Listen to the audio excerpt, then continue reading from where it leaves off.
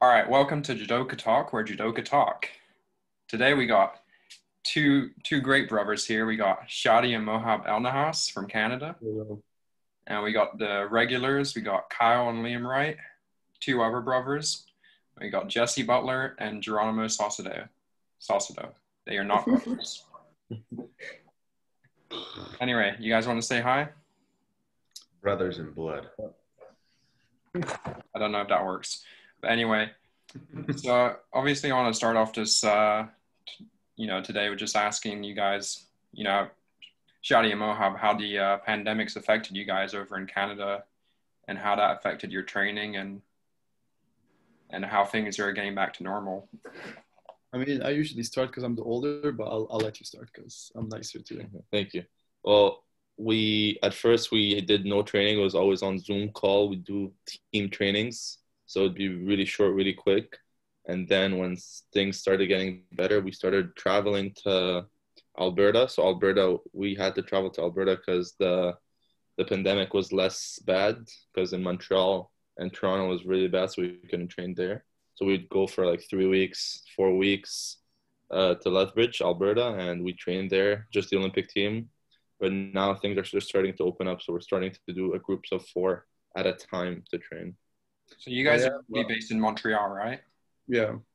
Well, also what what I wanted to say is uh, in the beginning of the quarantine, like I think it was in March, it started really bad because obviously, like for the first couple weeks, we had nothing to do. Like the big change where you were- your body's used to train every day, and we just had to like shut down completely. We're like kind of in shock. But then we start going for runs. We start doing like independent trainings, like by ourselves. And I feel that still in like in a positive way, it made me feel like uh, more uh, independent when it comes to training too and like i don't need like the coaches as much or like the group and stuff. And i feel like uh, it was kind of a blessing in the beginning and uh, the fact that i was able to train by myself and don't need like as much uh, people and stuff. And of course it's not the same when you do judo you need your bodies and, and the partners but i start like doing more runs. I start doing more uh, body weight training and it was just i was able to to manage you know and it was good But Yeah. also, I feel- no, I feel for like you guys and us guys too. I feel like me and Mob started off by me and him just training alone. I feel like you guys, especially you, John, because you're a big boy. We don't have, and uh, Geronimo, we don't have that many hey bodies. what about me i'm a big boy too Okay. like we're used to training with limited amount of people, right? Right. So I feel like we kind of managed to be able to train somehow with the amount of bodies we have, you know. And you and your brother, Liam and. Kyle, you guys train alone often, right? So I think we're you kind of used to training, doing that more common than not, you know. Yeah. You yeah, but you guys still have quite a few people uh, on the Canadian team, at least around our weight. Yeah, uh, for Mohab, it's uh, it's better. There's a few 90s. Yeah, for me, it's a little bit rougher, even though they're 90s. I think I need Yeah, you don't have too many Yeah. big guys. yeah, or like lefties, and lefties are my kryptonite. little I mean, for me, it's perfect because like I'm a light 90, and in in Canada we have heavy 73s, we have heavy 81s, and we have 90s. And I sometimes go with the 100 like Shady because uh, I'm stronger than him. But uh, yeah, so for me, it's like I literally fight everybody, and it's okay. I don't go with the extremes. Obviously, like 66, 60. It's not like uh, it's not a fair fight. But uh, yeah, like I fight a lot with even the 73s, like Arthur Bouchard and they give me a good fight and it's uh, i'm able to like train well but right now obviously we can't do that we only have a group of four like shadi said but last month when we were in alberta we we were the olympic team the whole olympic team was training together so that was pretty cool So the whole, so you're saying the whole team kind of moved from Montreal to Alberta. yeah they, You guys they- didn't decide to like have a bubble instead. You decided just everyone moves away. So the thing is, like, it was illegal to do judo in Montreal. The only place that was legal was in Alberta, for some reason. I don't even know why.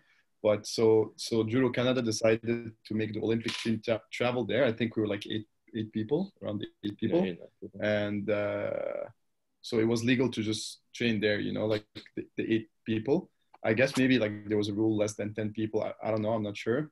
But we did randoris all together. It was cool. But now that we're back in Montreal, the new rule that just started a couple weeks ago is a group of four. So now we're training only with four partners, which is not as good as it was in Alberta, I would say. But we're dealing with what we with what we can right now.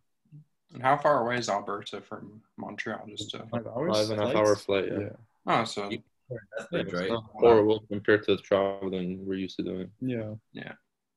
But honestly, I don't know. It felt like I I'm going to Europe because like five hours is still like like Europe. What from Montreal to Europe is like six seven. It's almost the same. So we're used to it, but at the same time, I'd rather go to Europe. You know. Yeah. yeah, that's um.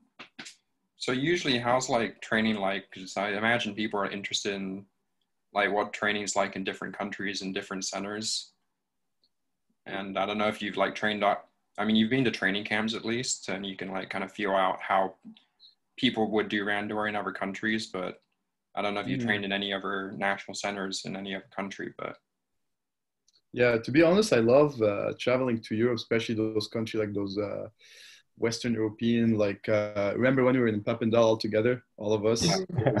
yeah, it was it was fun. To me, like training doesn't change as much because like I go for randoris. I don't go to like learn technique or anything when I travel. So I go to fight people, right? And I and like like everybody knows here, each country has kind of their own style of judo. So like let's say like the the Russians, they're more like physical, or the Georgian. Let's talk more about the Georgian. They're just like do like a lot of uranages, like the lifting techniques.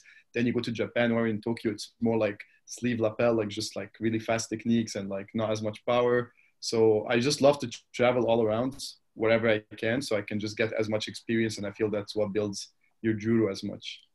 Also, I feel like again, I'll speak for all of us. I feel like us, like the American team and the Canadian team, we don't have a specific style because we're all coming from different spots. Like I think John Jayne, for example, he doesn't have a specific. He has a John Jayne style. He has his own style. You have Liam, you have your own style. Everybody's their own style.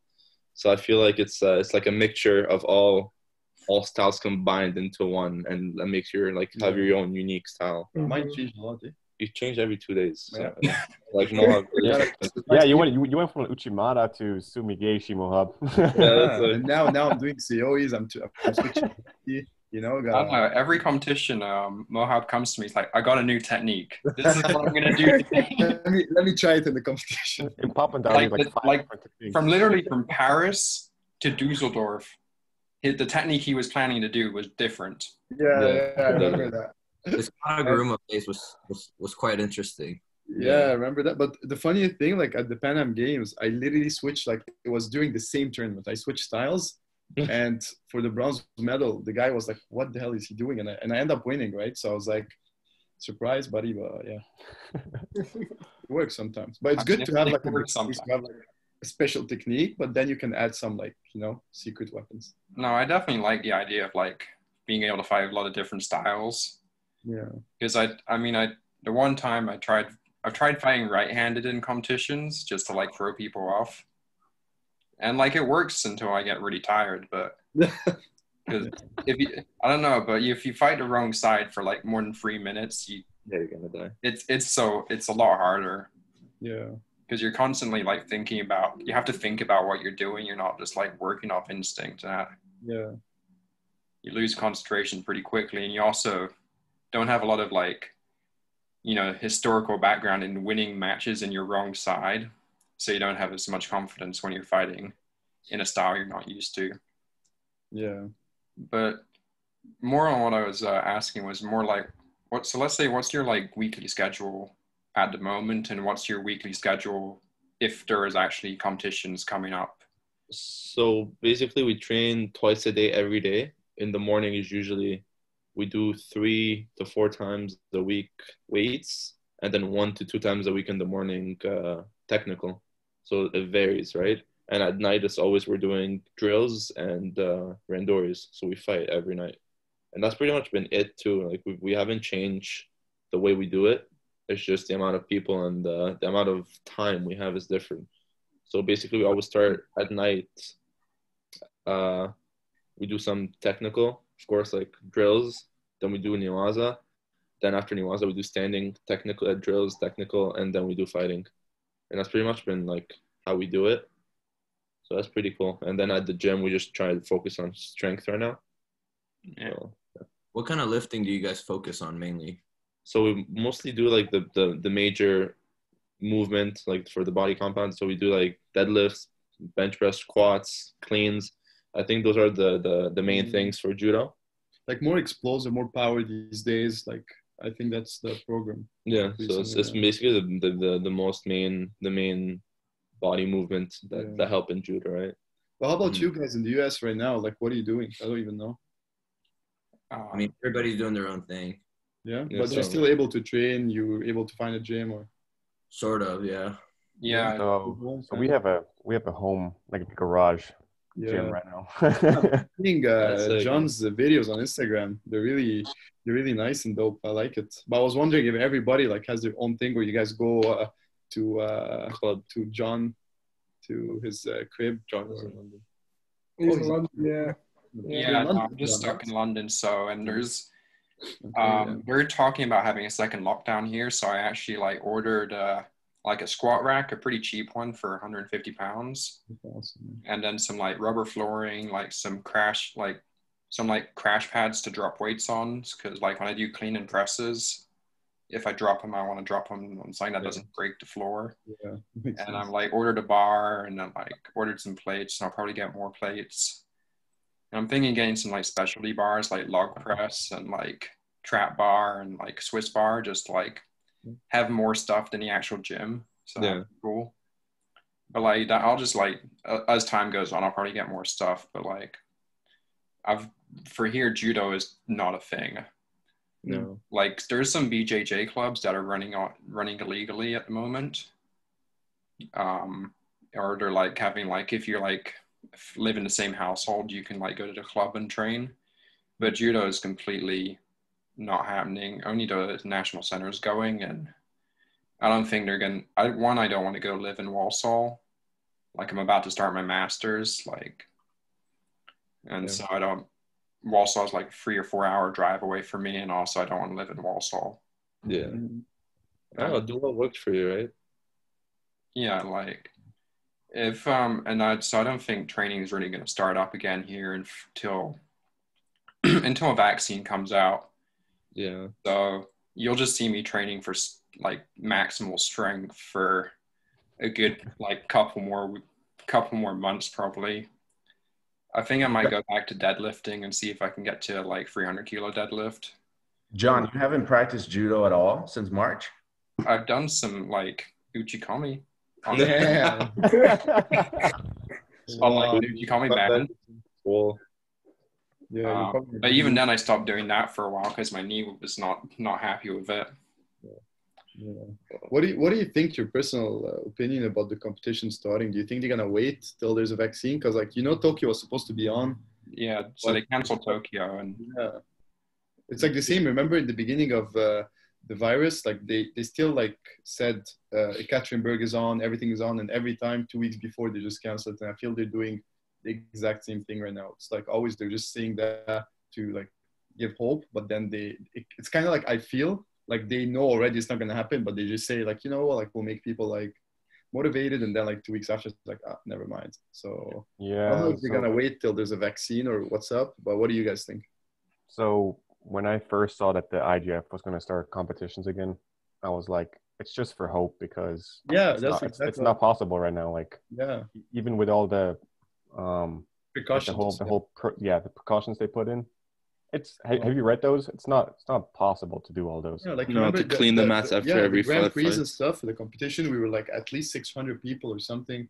Mhm. Like maybe not at least, but like we were around 500 people every tournament, and you know like how like it's like different like more than 50 countries and like just huge. It's a big uh, it's a big set. It, it can be uh, can be just taking it easy like that. no, just, Uh, how did you feel like knowing that the Olympics were postponed, knowing that you're already qualified? like that really annoyed me because I'm ranked in the top eight. So that was like really frustrating because also I have a Canadian like teammate and now like there's more time for him to like climb back up. And that kind of sucks for me, but at the same time, I just gotta try to keep it like mentally strong, and also because maybe that was a blessing in disguise because I've ha- I've been having trouble with like a few hundreds, like Wolf, Adam Yan, so I think it'll give me like I got a lot stronger since. He did. Yeah. So I used, I used to throw him 10 times. Now I throw him maybe four or five. You want, Yeah, one, was that on once TV? Mohab's only throwing you once, then you're gonna run. You're you you know hundreds won't know what hit them. yes, I, I was, I've, I've been getting a lot stronger, so maybe that's a blessing in disguise. But uh, like I was, I was wanted to say, it's like I feel like the IJF is just trying to make up for the money they lost during this time. So they're trying to rush competitions, but at the same time, they're not gonna put every athlete and their own risk, yeah, Yeah. their health at risk. You know, so so, so what do you guys think is money, all the money It's, they um, lost? Yeah. Is the Canadian team like expecting or like thinking about ramping up to like even go to for Budapest or maybe the Masters in January or something? Yeah, Well, it might like so. Here's what happened. The moment uh, like the news came up that those tournaments are up, of course, like our coach, main coach, came up to us like, guys, you gotta get ready, blah blah. But that's what I'm saying. I think it's just like it's motivation, but like in the back of their head, they know like it's not gonna happen because like everybody heard the rumors Europe is closing down in a week, and like you just like uh, you confirmed that, right? Like you said, like probably the, you guys are having another lockdown, and I think they're gonna do the same thing here in uh, Montreal and Toronto. So I think literally they're just like um, they're just like giving us hope, which is which is good because like imagine we didn't have any like highs of the emotions or like oh we don't know when the competition came since like any competition coming up since March. I think we would be in a different mindset. But the fact they're like oh my god like we're about to we're about to get us excited and we train hard for like a couple weeks and then they shut it down, then we get disappointed. But I feel like it's still it's still good for us in a way even though like we're getting played. But like I know that for sure soon enough they're gonna figure out something. So we don't know when. When's gonna be the time where they're gonna be like, tournament is in February. Like let's say Paris. Like I have hope Paris is gonna be the first thing, you know, because uh, like from Paris to the Olympic, the Summer Olympics, it's only a couple months, you know. So they gotta like find something. I'm. you I think so you guys don't think that Budapest is going to happen? No, I don't think Budapest is gonna happen. Yeah, Nothing agreed. December for No. sure. I kind of learned I'm like I'm not gonna have and, like I think our our coaches are just making us stay ready just in case like they're like oh damn it's actually happening. Throw you on the plane last minute. yeah literally. So we're just staying staying ready in some sort of way as much as we can. But for me after I knew the Olympics were postponed I was like okay there's no way we're gonna have any competitions this year. So yeah for me I'm like I'm not expecting anything positive or negative. I'm just neutral about it. If it happens, it happens. If it doesn't happen, it doesn't happen. Damn, what a tough Best guy. mindset to have there. Sorry? It's probably the best mindset to have. Just Yeah. be neutral and I don't want to be too excited and oh my god, I'm gonna fight. I don't want to be too excited. Like oh damn, nothing's gonna happen. Yeah, not not like Mohab going up and down. Yeah. that's me. I've been going up and down. You know, I gotta be more grounded, more chill, and not think too much. Hey, Shady, you said there was another hun- another hundred for Canada that was sneaking up. Is that right? Yeah. yeah. Uh, Al Reyes, yeah. Yeah. If he's in Japan right now. So, You must be kind of annoyed that Tokyo got cancelled, but yeah, I don't know. I, th- I thought it was like the perfect scenario, you know, like to, like Olympics in Tokyo, blah blah blah. It's like a fairy tale story. it's just too But- it's too good for judo. Yeah, it was too good to be true, you know. So, hmm. But it might still happen. We'll see. I mean, Paris is a pretty like for Diane's like another four years away. Paris is a pretty good place for judo to have Olympics. I at first I was like, oh, I'm so sick of going to Paris, blah blah. But thinking about it, it's it's the, the judo is insane there. So To me, Paris is gonna be even better than Tokyo, to be honest. Well, yeah, it's the fan, the fans are a lot louder and more.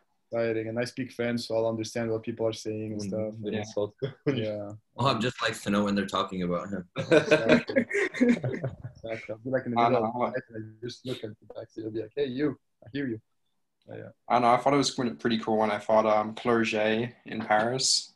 that was that was a really good That fight. was Yeah. close. Yeah, because I was center mat as well, so like everyone was watching me. I thought it was pretty cool, and I still remember one time he was like doing the Uchimata to me, and I was like, "Oh, I think he got me here." Like I'm going, I'm going, then I hear the crowd like screaming, and I was like, "Oh, I'm not getting thrown like this. like I'm not getting thrown in front of ten thousand people." That- that- Does it like affect you? of course. Does Um, it affect you if the crowd was like lit- literally 99.9 of the crowd except your teammates and me and Mohab were against you?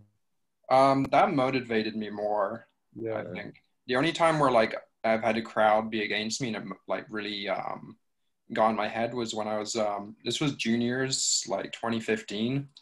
And I was fighting uh, Dominic Schoenfeld in Germany, and this was in Poland, so there's a lot of Germans in the crowd.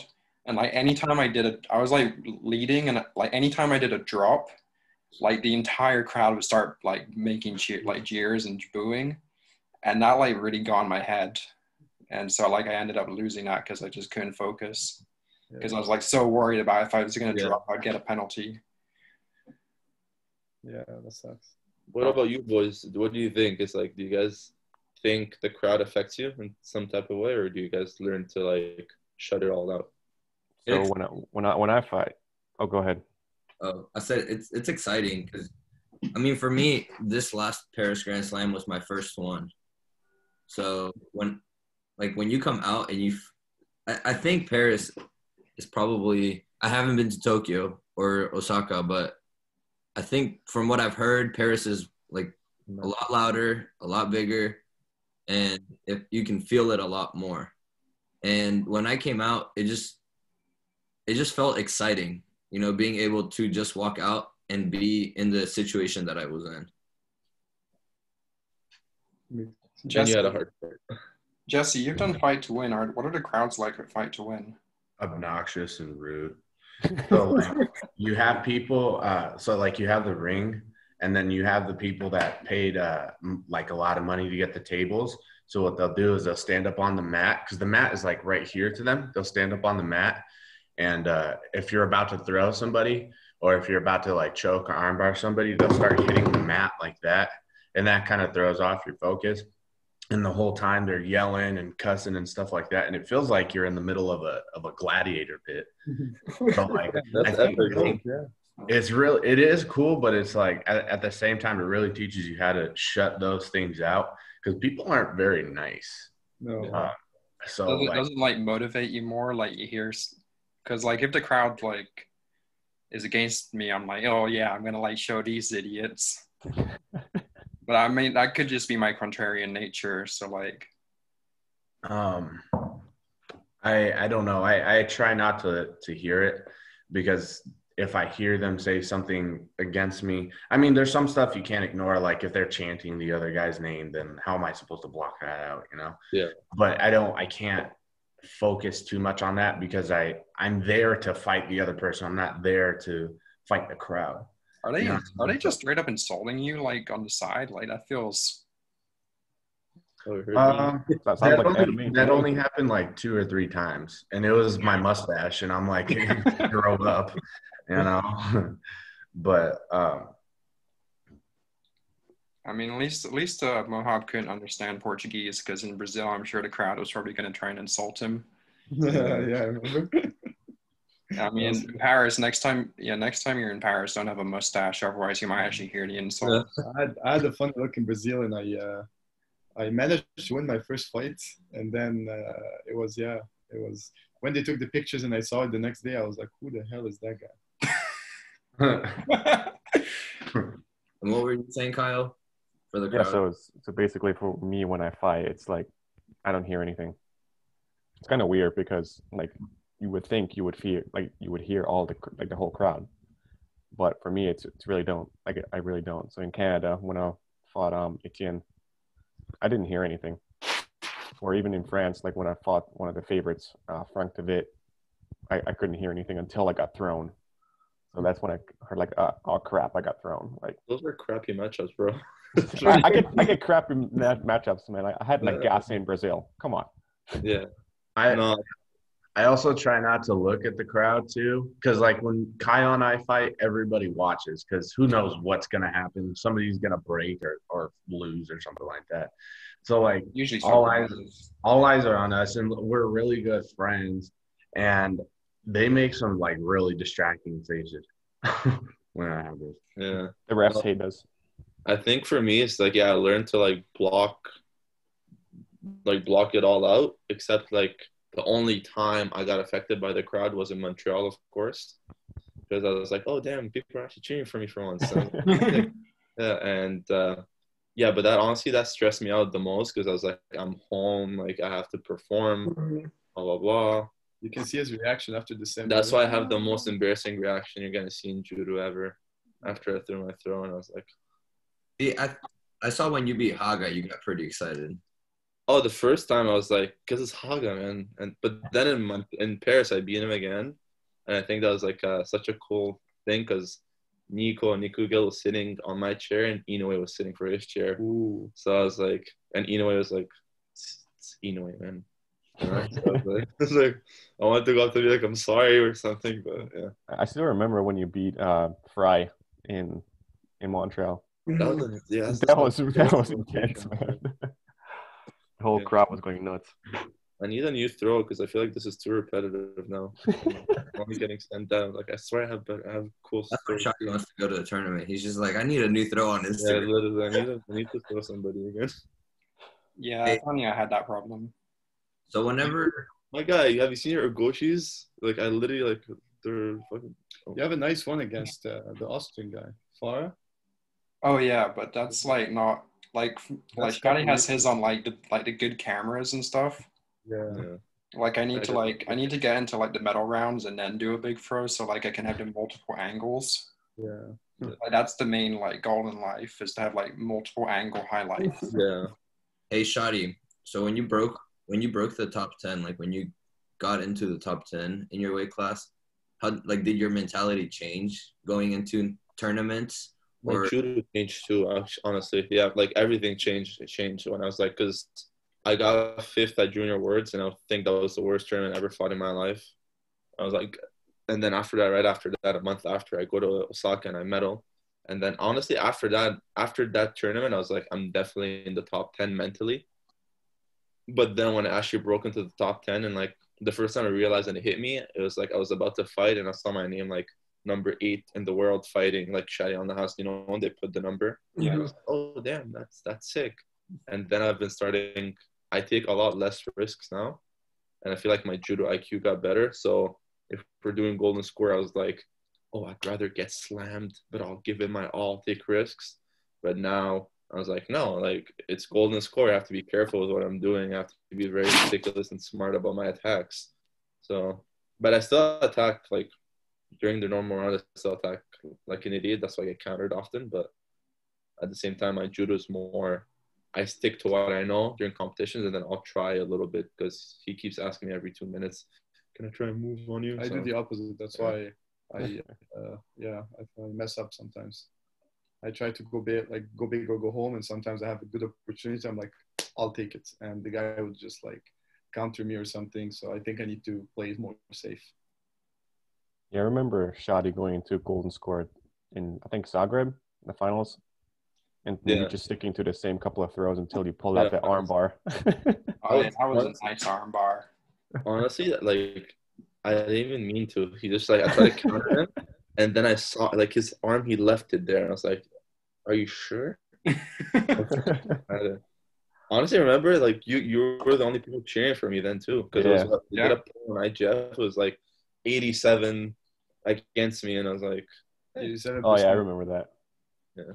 How did I that feel like when you one like thing. going into a match and like you see the like you see the odds for your own match and you're like, huh? Yeah, and I fought him in uh, you know, the the New York uh, team tournament, and he slammed me on my neck. So I was like, "Damn, he already slammed me once. It's my time." And literally, week, two weeks before, I got second in Montreal. I was like, "Yes, that would have been my my third silver medal in like a year," and I was gonna be like, "Yeah, you know, imagine going to the finals three times and keep losing in the finals. That that would hurt your ego a little bit." Yeah, definitely. I mean, so Okay, let me ask you guys a question. What's the most meaningful medal you guys got? Nobody During your whole career? That's a tough question. why don't you answer that question first yourself? Honestly, I think what made me think I could do judo seriously was winning Bremen. Like Bremen. the Bremen trip. Bremen is uh, like a junior and cadet tournament. Did you win the cadet or junior one? so I did. I went for four years, and I went to the finals four years in a row. But I got gold twice. I got gold in my first year, U18, I got silver U18, I got silver U21, and then my last year I got gold. And then I was like, I think that tournament because there's a hundred and like a hundred athletes per division. Yeah, it's huge. Yeah, so I had like seven, eight fights, and I was like, I think even though like of course not everybody's gonna be amazing during those seven, eight fights, but I was like young and I was like, damn, if I can win this, I can probably like it kind of like fixed my mindset a little bit that I can be good at that sport, you know. Yeah, That competition's rough, man. Yeah. yeah. I think I've only gone to Bremen once. I got seventh there. Yeah, I And almost followed you. honestly, that's probably after five, six fights, which is pretty good. There's a few matches, but I remember I had the Japanese guy first match. And I Yeah. like I just like he I countered Izuchimata in like the first minute and I was like, yeah, I'm feeling pretty good. Yeah. And then I like If lost a couple matches later. Yeah, if I if I had won my first match, I would have fought you, John. I remember that. didn't. That's pretty true. But I don't know, for medals like I think maybe my like European Open where I got bronze in Luxembourg was like because that was like the first time I like medaled at like Yeah. a tournament with Olymp like with Olympic ranking points. And like Yep. it's like the first time where like my judo sort of came together for once. So like that kind of gave me a lot more confidence when like I actually saw my judo make sense Yeah. and I was like, oh, there's some like, because I like watched like some of the videos back, and I'm like, huh, like I'm not a complete idiot. You just have your own. You, you literally Yeah, your own style. Like you can. It's John Jayne style. yeah. So like once I like kind of like s- got into that, like I started winning more match. Like I started doing a lot better. I think after that, it's like more regularly, but Yeah.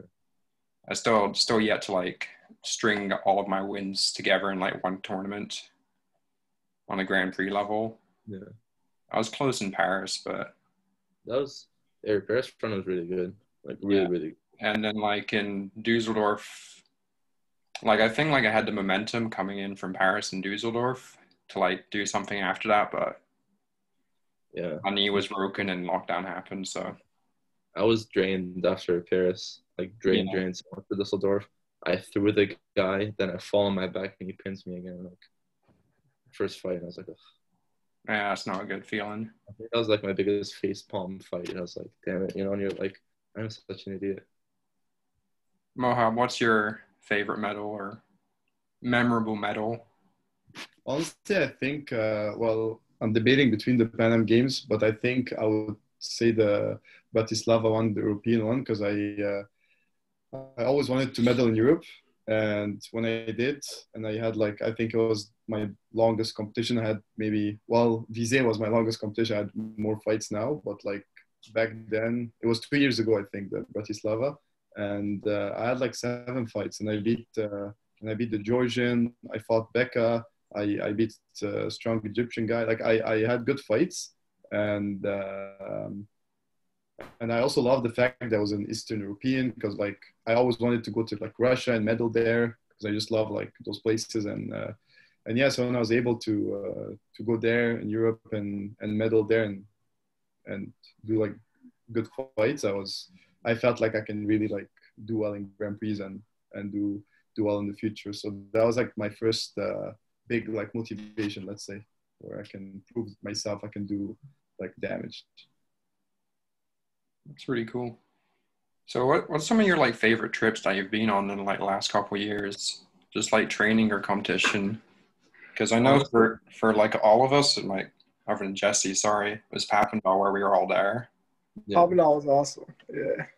Up and down was one I of had a rough time there. Mhm. Yeah, we all had a rough. I, I love my trip with Geronimo when we took the train. We Yeah. went around. That's one of my favorite trips. Yeah, uh, we had that. We had great experience for sure. Cut your It was- foot open. yeah, it was crazy. So much in such little time. It was so spontaneous and unexpected too. Hey, want to take want to take the train and just travel Europe? Let's do it. And we just like would stop every every country, do some judo. It was just crazy. It was fun. Which country? Yeah, I'd say also Papendal. Which countries? Did, Papendal, like, pardon? Which countries did you stop through, Mohab and Geronimo? We we stopped. We stopped in Munich. Uh, we stopped uh, in well. We were in uh, Holland. We stopped in Munich. We stopped in Oh, we stopped somewhere else before Munich. We I think we stopped in didn't we stop in Vienna at night and we stayed at the train station? In Vienna. We didn't go out in Vienna, did we? I think I think we went to Vienna and then to Munich. But it was like a short stop. We had to like run to the train and then get on and then go to Okay, Munich. yeah, yeah. So we didn't like go to the city in Vienna. We just yeah, yeah. And uh, we we were in Budapest when we took the train, or or Holland, Budapest. and we ended up in Holland after. Yeah. Yeah. Yeah. We So we stayed, Munich. stayed in in Munich. Say that again. We stayed one night in Munich. And then we went where in Germany? Dusseldorf. Uh, no, no, no. We went from Munich, and then we went straight because we stayed one night, and then I, we woke up the next day. You felt sick, so I went to the music to like one or two museums. I oh came, yeah, I was staying in the Airbnb. I came back for lunch, and then you felt better. So then we went, walked around, and then. Oh wait, we went back to the Airbnb, stayed another night, and then the next day we were supposed to leave at like late in the afternoon. So we went to the Eisenbach, and That's exactly what I'm thinking about. That makes sense now. Yeah, it was longer than a day.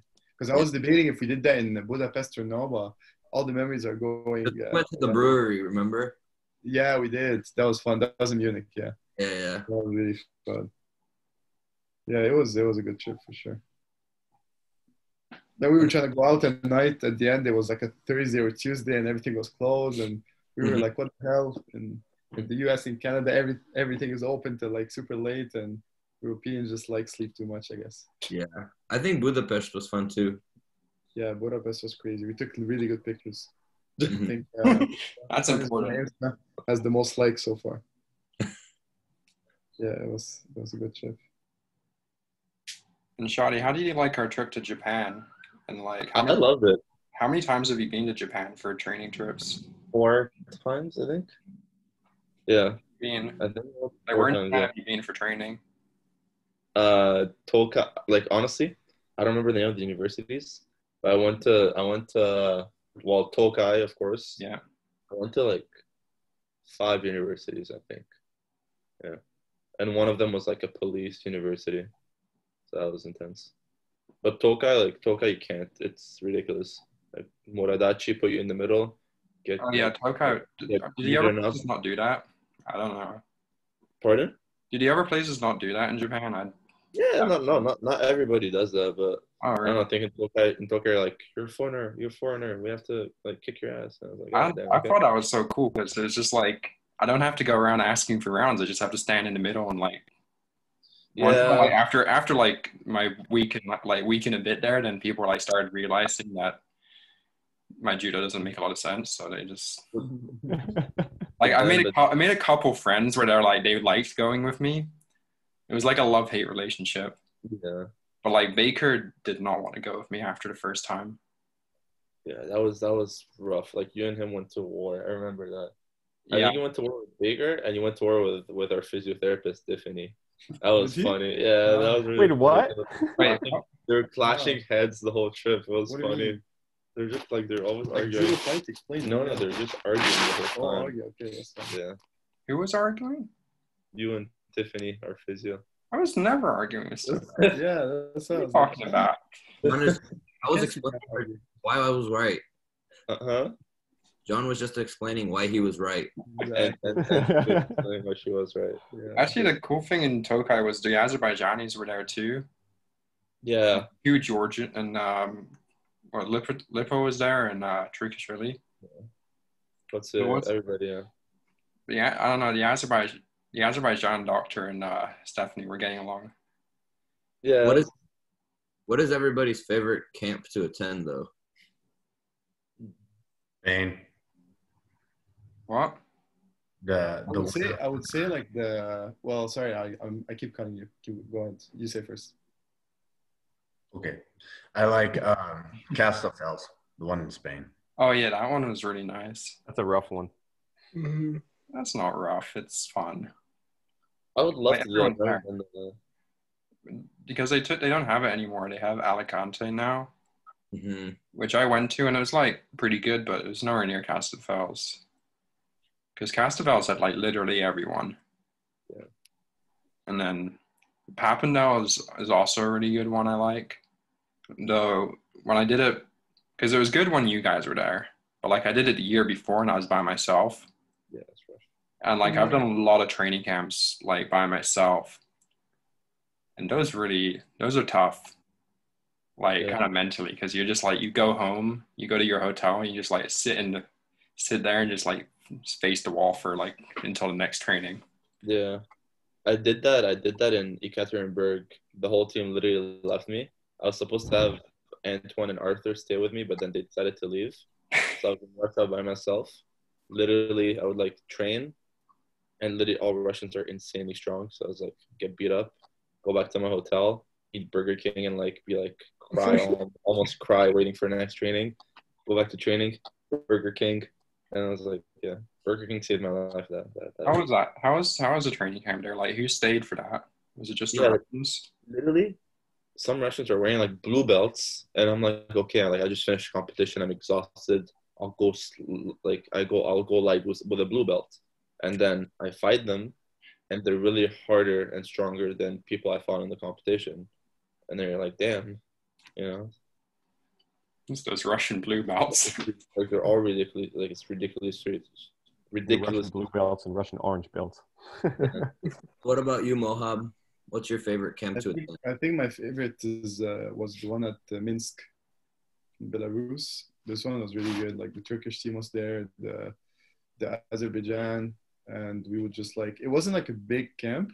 It was just like a couple teams, but like you know, like the fights were really intense because it's like kind of the same people, but like really strong. And I, I don't know, it was really uh, it was really intense for me. I, I enjoyed it, and I like the center and stuff. There was like this lake or river or pond or whatever, and we would jump after every training, and it was really warm, the water. So I, I like that. Yeah, Yeah. so we enjoyed it. Liam, Mm, how's life? It's great, you know, same old. Training with Kyle, my sister. That's about it. School. Canada is Canada accepting any foreigners to come train? Uh, no, they're really strict right now. Like where we train the Olympic Center, they're super strict. Like every morning we have to do a whole um, Quiz or like not quiz, a questionnaire, yeah, questionnaire about like symptoms, blah blah, and then like we have to wear a mask the whole time and have a box. We have to change our whole outfits if we're gonna go to the gym and change our shoes. Yeah, we don't wear a mask when we're training, but we have to wear it like if, like all around, Yeah. even when we're like right. Literally finish you finish your set of bench press, then you have to put your mask on. And then if somebody's spotting you, you need to have your mask on. And one time I was like choking, almost dying, and was there. And I was like, I live with that guy. Like we're like, like cuddling, like you see, and they don't care. They're like, nope, rules are rules. I was like, yeah, but like they have to make sense. But, you know, we don't argue. We just do what we gotta do so we can train. And, If we all get together to train, would you guys come? what's that? If we all get together to train, would you guys come? I'm I would love that. That would be I would amazing, honestly. Okay. the, Te- the Texas training camp. Let's all go to Kyle and Liam's uh, garage and have a yeah, there we go. Randori night. We can all, we can all deadlift in uh, Kyle's garage. Gotta get It's some okay. more We plates got some more plates, yeah.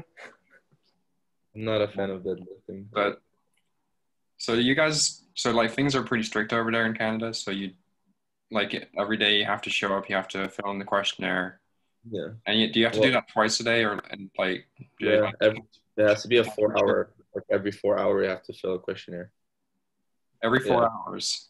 So basically, no, if we, because we train at like nine thirty for the gym and like cardio and tech, blah blah. And then the other training now we have like different times because there's so many groups split into four. So it's either you train at four or at six, but there's more than four hour gap in between. So you have to do a questionnaire again. And do you guys get tested at all, or or do they check your temperature at least? Bro. Bro. We got tested. uh, My mom got tested four times in the last like month and a half. Yeah, and like I'm scarred. Like, like, and like, I get the nurses that like, like, sh- like, go aggressively up your nose, and yeah, it's not a good feeling. How does that affect your training if you're getting like? Do you have to like stay at home then all the time and just like just go from home to the center? Not really. Like at the same time, it's like I'm so tired that I'm probably gonna stay home most of the time. But no, like I, I can still live my life. I just have to be careful. I can't just go and like party or go clubbing and like you know. I have to be careful. But if I get tested, we have to wait to be home until we get the result, of course. That's pretty much it. Literally been been my life, Mohab and I's life for the past what four Mohab, months. Mohab, do you want to talk about your life? What, what technique? What technique are you thinking of like bringing up? Well, I wanted to surprise you next time I have Randori, but I guess I'll, I'll share it. And I Yeah, that's going to be um a good several months from now, and by then it's going to have Oh, changed several I'll, I'll times. tell you so you can prepare yourself mentally. It's gonna be a, a mix of a suplex, with, uh, Like from the front or from the back? from the side with a, Oh, half ouchi, with a half ouchi hook, and then like there's a there's a touch in it, but this one you'll have to feel it yourself after. so so you're saying you're coming in from an you're coming in from the side. You're doing an ouchi. Yeah, It's usually a technique done from the front. Um, I'm hooking an ouchi from the sides, so like you know like that hook jump, and then I'm taking you the suplex. Do He's you? saying he's gonna manhandle you, is what he's saying. Exactly. Are you doing the spiral thing with your leg? well, I'm trying, but I can't do it yet. I don't think that's legal. No, no, you mean like the spiral, like where, like I thought you mean You like the it, uh, you know, no, no, hook, no, no, not around because this is yeah, this is a Illegal. illegal move, but no, it's illegal if you if I take you backward or like if I just throw you with it. But if, if I just hook and then I go like inside and I just flip you, I think it's fine. Like nothing says I can't spin you midair as I throw you. I don't know, Shady. Tell us, tell us what it feels like. hey, hey, hey. No. Try- he can't throw me, so until then I didn't feel it. I, well, he's he's right about this, but only in his dreams. In his dreams, I can throw him, but when we fight, yeah, John- John, on on your next on your next uh you, the one you do, we'll just literally I'll film it the Zoom call on the mat, and me and Mob are gonna fight, and you can like referee it. yeah, deal. Yeah, actually, Oh, that would be pretty do that. cool to have you Okay. guys on the map. I'll destroy him for you guys. I'll forget he's my brother. Wait, Yeah. so so Shady and uh, Mohab. So you guys said when quarantine first started, you guys didn't really do much. Uh, did you guys use that time to let injuries heal or work on your weaknesses, or was it just like do whatever you can? for me honestly i worked a lot about my mental like mental health and stuff i, I became better into like I, I became i was already interested in psychology and stuff like that but i used that time to work on like like everybody did i feel like there's i worked on myself i i started enjoying my time alone i like more than before i, I started going on runs on hikes. Like i feel like i got back in touch with my uh, spiritual side i guess or like it was just like you know it was interesting but also like I had a lot of downs too because you know like you're not used to stuff like that so sometimes you just like start like like feeling like that void that you usually like you feel it with training with judo with that busy life but then it's like taken away from you and you're just like left alone with your thoughts and stuff and especially in the beginning when you weren't even allowed to see your friends or like it was all like zoom calls it got to me for sure mentally so i, I think that's uh, where i put most of my energy it was all mental So he's He's the spiritual self. Yeah, he's the very deep emotional brother, as you can tell. No, for me, I think it was honestly, it's I didn't realize it, but I needed a break from traveling. I was exhausted, and I feel like also at the end I was so burnt out that every competition I'd be like, okay, I made the quarterfinals. Then like I'd be so burnt out, I'd lose, right? I like, and I needed that break to, to heal up and like recover. Like after Paris, after the the the I got fifth, I lost for bronze, or I got destroyed in the bronze. Sadly, I was so burnt. I was like, like Dusseldorf wasn't in my head. I went to Dusseldorf. I was like, it is what it is, and that's why I lost. But I don't know. I think it was like super healthy to take a break, to like refresh your mind and your body off of all of like the stress of tra- traveling and stuff. I counted like because Judo Canada makes you have like the cheaper routes to travel, so we take like four flights to get to somewhere.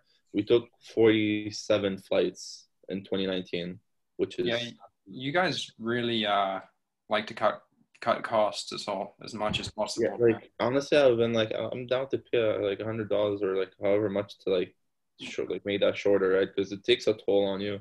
But yeah, That's why- yeah, I think Corona, COVID like helped me step back, and I needed to step back because otherwise, uh, like I was so burnt out, and I think a lot of people are burnt out from just competing, competing, competing, and yeah, like you don't do your best after like eight competitions in like after like every month, you know.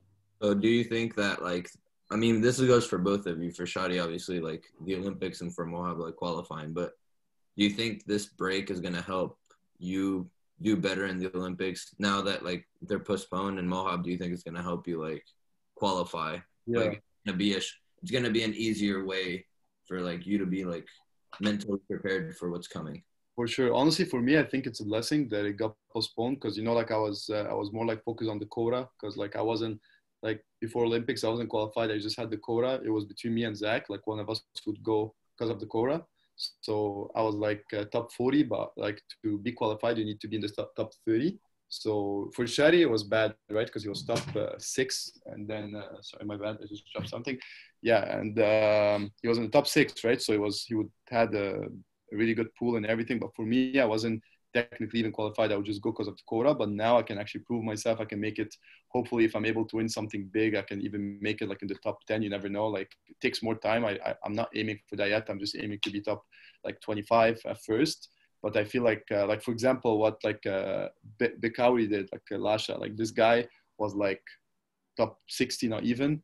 Went to one tournament, got first at World Master, unexpected, and he's in the top 10 now. You know, so I feel like it's doable, but like I'm I'm aiming first to like get like a Grand Prix medal, and then, you know, like in Montreal, I was really close. I end up fifth, but like I think if I if I had the right mindset, I would have 100% got that medal. So I'm just aiming for that and I just I just hope the tournaments are are on soon so I can do it. As uh, the lockdown, do you think it's improved your mindset? Um, for sure it did. Like I, I grew so much from it, but uh, it took a lot of time and work for sure. Like it, it, like I had like a lot of like I said like a lot of ups and down, a lot of ups and down. But then now I feel like I'm I'm in a I'm in a good place. But uh, I just want to see how it will uh, how I will react in the tournament, right? Because I haven't felt that that vibe in a while. Well, for me, honestly, I was like, I was very disappointed because I don't know. I think I had everything like aligned perfectly for me to perform. But I was like, you because what top eight, so I was seated. So I was like, I was ranked six. So I was seated, and then with my seating, I would have had a fight with somebody I beat before. So I was like, I'd make the quarters, I'd beat that guy in the quarters. Everything would be aligned perfectly. Like I wouldn't have had Wolf who's giving me trouble or Adam who's giving me trouble. I would have had somebody like I beat before. So I was like, oh, that's perfect. And then it didn't happen. I was like, oh damn, instead of sulking, which I did for a little bit, let's be honest. And I was like, I'll just try to be a beast in the gym or try to be a beast in the gym and just get a lot stronger, a lot better. And hopefully well, that's the thing. Of course I'm stressed. I'm like, I don't want to like fall off my top eight seating but I think I believe in myself enough to be like, I can actually climb up the rankings, then go down the rankings, and we'll see. Yeah, like uh, again, only time will tell, right? Because I'm not, I'm not, I'm not gonna be like, oh, the Olympics are happening 100 percent, because I don't want to have like high, high hopes and then like you know get crushed if it doesn't happen. But I don't want to be like, oh, they're canceled. So I'm just, I'm going with the flow, with that in that department, you know. Yeah. How's your lifts going in the gym? Oh man. What kind of weights are you? What kind of weights? Uh, like me and Mohab are pretty similar and in the, at the gym. Sadly, even though he's 90 and I'm 100. Uh, yeah, I think bench 140. Uh, deadlifts. Oh, that's it. But I'm I'm Yes. I'm, I'm weaker when it comes to legs because my my knee injury. I still have to figure that shit out. But uh, when Yeah. it comes to squat, like I like I do 170, 165. You've had all of lockdown to figure out your knee, haven't you? no, because like I'm so like I have the Osgood-Schlatter, right? So that's that's tough. Yeah, uh, what? it's, it's an injury comes with time. Like so, it's the bone. I can okay, I can't show it on camera right now because I'm. Anyways, so uh, yeah, it's like a bone that forms on your knee, and then uh, it either goes away with time. But for me, like it became chronic, so I need like if I do the surgery, they literally like shave the bone off, like they cut it off. But then it's like they take off the tendon and they put it back, and it takes like a ten month recovery at least. So I didn't know when the I thought the quarantine will be like three months, four months max, right? And Olympics are coming up, and so I didn't want to take the risk. So I'll probably do it after uh, the, the summer of 21. But uh, yeah, I don't think uh, I want to risk it now. If I do it like this month, then I'm out for till till next year, like late next year. John, u- usually Oscar slaughter is a thing that uh, kids have in puberty that's when they're tough. growing. Yeah, so I, I had it when I was like 14, 15. I had it for like three years. Mhm. So I, I feel your pain, Mohab. Yeah, but mine again, like the thing is like th- yours doesn't hurt anymore, right? No, it's gone. It's, it, be- it turned chronic. That, that's most people it happens like that. It, it, it builds up during when you're like a teenager, but then you like once you start hurting, you watch out. But for me, I was not the smartest kid, so I kept training. I kept training. I kept making it work. And now, like I was like 20, I was still like hurting, and like I went to see doctors, and they're like, "Yeah, it's supposed to go away in a year max when you stop growing." Now I'm like almost 25, and it, and it gets worse every year. If you look at his knee, it's literally like a tennis ball. is messed dangling out of it. It's knee. like huge. It's not even like because it starts slow, uh, slow. It starts small. Like people like gets like a bump, but for me, it's like another it's knee. literally a tennis ball. So you're just a late bloomer, Mohab. Huh? Yeah. You're just late bloomer. Yeah, Yeah. no, I'm still growing. yeah, I mean, I'm still growing, but muscle wise. Anybody injured or everybody's then? nobody's injured? Everybody's hundred percent. I Yeah, broke my, my. knee, my knee comes and goes. Wait, what? My knee comes and goes. Yeah. It's like So- depending on how much rehab I do, like like the more like rehab I do on it, the better it feels. The less I do it, the worse it feels. How about you do more rehab then? Well, I'm lazy. yeah, I feel It's you. like one of those ones where like if I do more hamstring curls, then it feels better.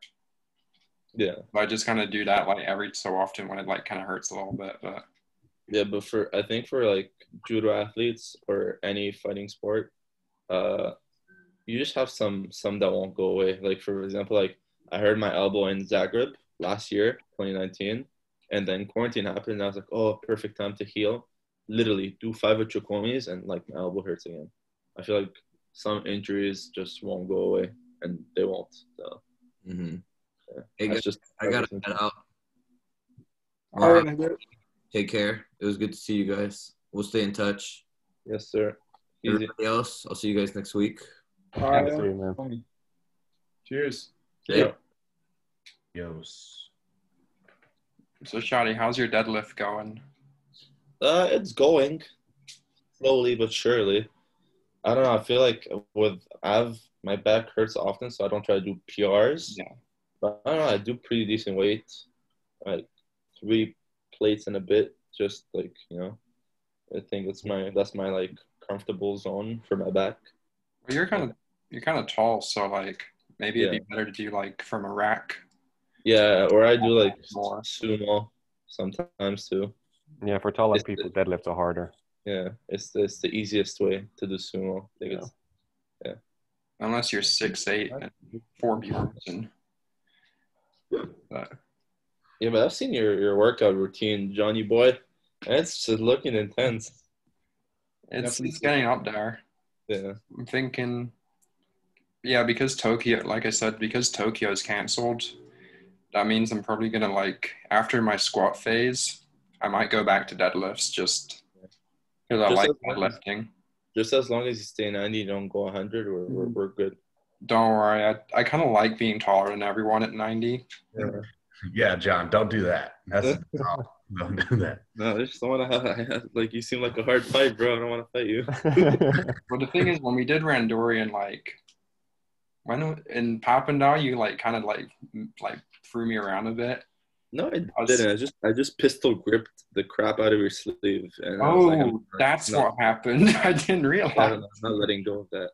Everybody does pistol grips nowadays. So I'm like, Yeah, I really hate but that. I'm fighting somebody, and I'm like, if you're gonna do it, I'm just gonna do it back. It's just I'll be smart and hide it, and you'll get a Shido. You got the Spanish guy, the professional at it. When I fought him in Brazil, I was like, bro, let go of that stuff. And he was like, and I was like looking at it. I was like, bro, like what? And it just doesn't. It, you can't break it because it's like he puts like his finger in a weird way. I don't, I don't even know anymore. Oh, he does that cheat grip. You just have to be smart. Like, Yeah. Honestly, like I was like, oh, I'm gonna play, like I'm gonna fight, like tradition, like clean. Well, of course, clean. Judo's a clean sport, but I don't know. I'm like, people are gonna pistol grip me. I'm just gonna pistol grip you back, and you just have to learn how to hide it properly a little bit. Like I gave a guy two Shidos in like 30 seconds because they would pistol grip me, and I'd pistol grip them, and it would be stuck like this, but I'd hide mine, and then they like you get two Shidos, and I think I think Iliadis like he did that pistol grip and he would um I think he said that like he would specifically move around so that the referee wouldn't be able to like see Yeah. from the like see the pistol grip from a certain angle. Yeah, that's smart. Now, because now there's only one ref, right? Like it's been like that for a while, but like Yeah, it was harder because like it was all around you. But like yeah, but like the um, I don't think the uh the side judges could have been like call Mate to give someone a like a penalty for pistol gripping. Uh, and they can't see that well. Like it's more like the, when it comes to pistol grip and cameras, it's not. You can see as well. You need to be like literally like sitting on the mat or like like Yeah. right next to it to see like the pistol. Because pistol can be like literally like just like a tiny part of your finger in. It counts as pistol. You know what I mean? Like it can be really Yeah. tricky. So it, they rather not give a shido than give you a fake shido for like holding normally. That's why Yeah. they, they just don't give sometimes. But yeah. All right, so I think we've been on here for about an hour now. So I think that's probably enough for today. perfect. So anyway, I'll see see you guys next time and uh, like and subscribe if you're new to the channel and and peace.